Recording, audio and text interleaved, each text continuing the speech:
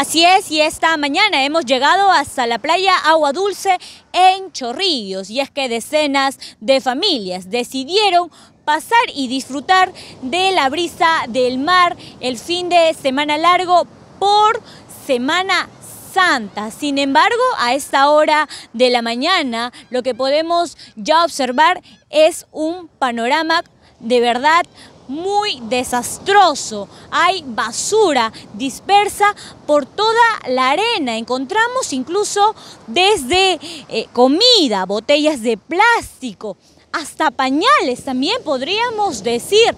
Personas que han acampado y hasta el momento continúan en esta playa y no se han preocupado por recoger su basura. Para ello me encuentro por aquí con una señora quien todos los años recicla lo que son las botellas de plástico y me comenta que siempre es la misma situación. Señora, ¿qué tal? Bienvenida a PBO y Willax Televisión. Coméntenos, por favor, usted me dice que todos los años que viene a esta playa siempre ve el mismo panorama. Sí, todos los días yo veo todas. No, ayer, ayer han limpiado, pero hoy día están una cochinada. Están prohibiendo que te venden cerveza, pero igualito venden cerveza a todo el mundo. Yo junto material, junto mis latas, botellas, junto, todos los años junto así, todos los años junto. No es la primera vez porque tengo un enfermo en cama y nadie me apoya, yo solita con eso me apoyo, me, con eso lo mantengo a mi esposa, lo veo en cama así. Y vengo todos los días, en la tarde y mañana vengo a juntar. Señora, ¿usted qué cree que les falta a los ciudadanos? ¿Qué, qué nos falta para poder mejorar? Eso quiere decir una limpieza, quedó unidos todos. Aló, y por demás ya tan limpio, por este lado son más cochinos son, porque por allá está limpiecito. Por este lado está todo sucio encontró, mira. Ayer estaba limpiecito, ahora mira cómo está. Ayer, todos los días, juntos, todos los días vengo. Pero allí encontré vacío todo, no está limpio, pero ahora está sucio todito, mira, ni vienen a limpiar. ¿Usted considera que debería eh, prohibirse el ingreso de botellas y comida al mar? Sí, porque muchos toman demasiado. Y roban también acá, los gente que vienen a la playa le roban las cosas. Me preguntan a mí, no sé, señor, porque yo junto mis botellas, no sé, no me meten nada, porque ya me ha pasado una cosa a mi amiga, que otro día a mi amiga le, le metieron un cuchillo, pues me da miedo, ya no me meto, ya no me meto. Prefiero callarme, juntar tranquilo mi material y nada más, no me méteme con nadie.